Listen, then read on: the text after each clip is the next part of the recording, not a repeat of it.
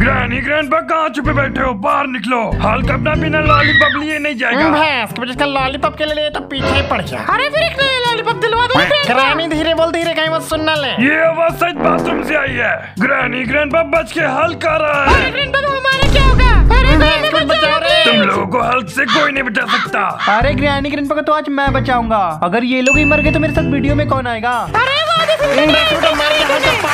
ये पिद्दी लड़ेगा मेरे से। हल्क सिर्फ़ ताकतवर लोगों से लड़ता है। बच्चा समझ के कमज़ोर नहीं समझने का। अभी ये एलियन बन के बताता हूँ तुम्हें। फोर अभी हुई ना बराबर की टक्कर। ओए बड़ा है मेरे भाई से लड़ने।